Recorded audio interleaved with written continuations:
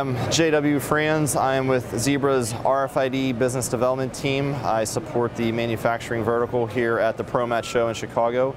And today we are talking about how UHF passive RFID can be used in various applications, but more so about how it can be used for dock door scenarios. Um, our audience seems to take a lot of interest in you know, the shipping side of things with RFID. So using RFID in a dock door application is what we're talking about. And dock door applications typically have a, a couple different uh, use cases that go, go with that. Uh, we like to talk about shipment validation to ensure that customer shipments are being delivered accurately and on time. We like to make sure that there's no misshipments or accuracies with or misaccuracies with those shipments.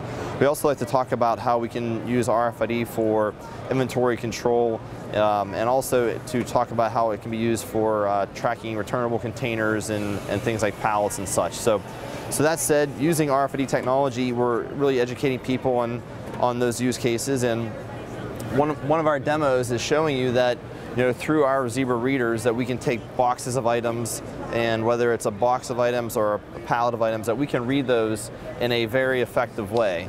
So moving through our, our portal here, mimicking a dock door, we can clearly see that we can capture a lot of RFID tag data very efficiently, very quickly.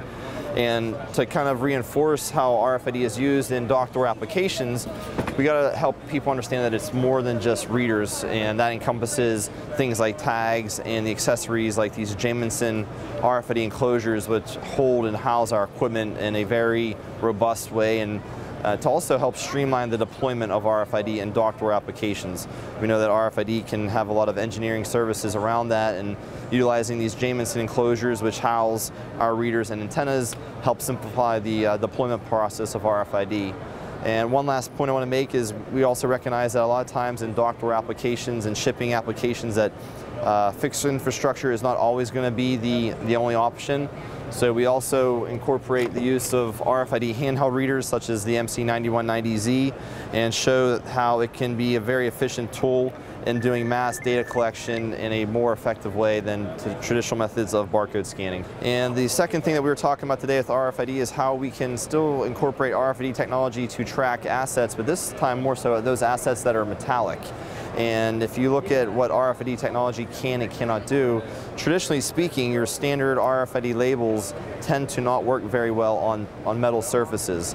So that over the years, we've worked with tag partners like Confidex to develop a new RFID label offering where now we can take a Zebra printable label and apply it to metal surfaces where in the past we have not been able to do that. So we call that product the Silverline series and such as an example is a Confidex Silverline label printed through a Zebra ZT410R printer.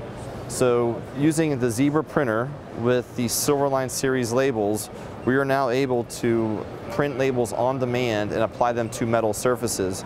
To give you one illustration about how RFID typically does not work very well on metal surfaces, we have a tablet here with a standard Zebra uh, Silverline label as well as a standard passive RFID label.